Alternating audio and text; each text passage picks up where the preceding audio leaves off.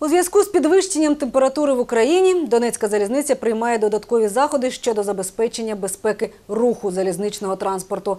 Це пов'язано з фізичними процесами, які відбуваються в рейках при їхньому нагріванні. Під дією аномальної температури змінюється стан поверхні самих рейок та стикових з'єднань. За високої температури залізо може розширитися, а це пряма загроза безпеці руху. Наразі запровадили цілодобовий контроль за станом рейок. На всіх ділянках залізниці діють пости безпеки, якими фіксується температура. Якщо температура рейок перевищить 50 градусів за Цельсієм, то за правилами експлуатації залізниці швидкість руху потягів може бути обмежена.